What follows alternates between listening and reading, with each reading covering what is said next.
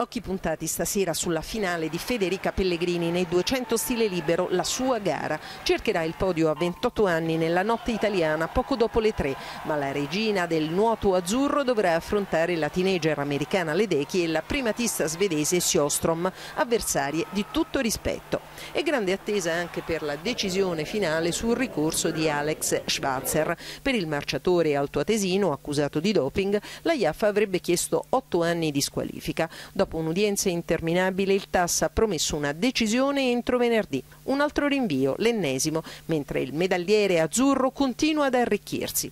Alle Olimpiadi riscopriamo i nostri tiratori, oro nella carabina 10 metri per Campriani e argento nella fossa per Pellielo. 46enne Vercellese da 4 podi in 12 anni. Intanto proseguono i giochi con i canottieri azzurri promossi al turno successivo con grande dimostrazione di forza. Delusioni dalla spada individuale, si spera ora nel judo. Per completare il quadro in Brasile gare di basket, tennis, beach volley e tante altre sfide, tutte da seguire.